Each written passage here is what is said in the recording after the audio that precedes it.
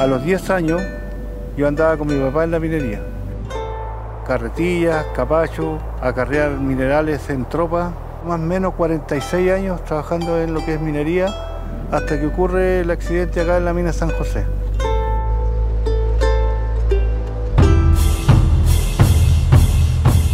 Después del accidente me interesó mucho estar acá, contar todo lo que es la historia de, de uno, que digan yo voy a ir y estoy allá con un minero. Gente de todo el mundo.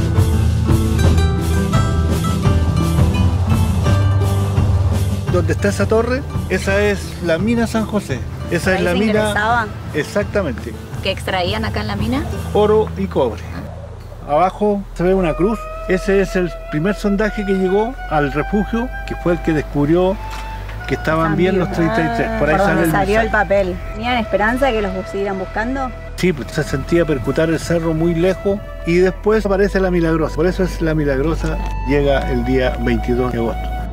En Argentina recibimos las noticias, pero no es lo mismo hablar con las personas que lo tuvieron que vivir y para mí lo más importante fue eso.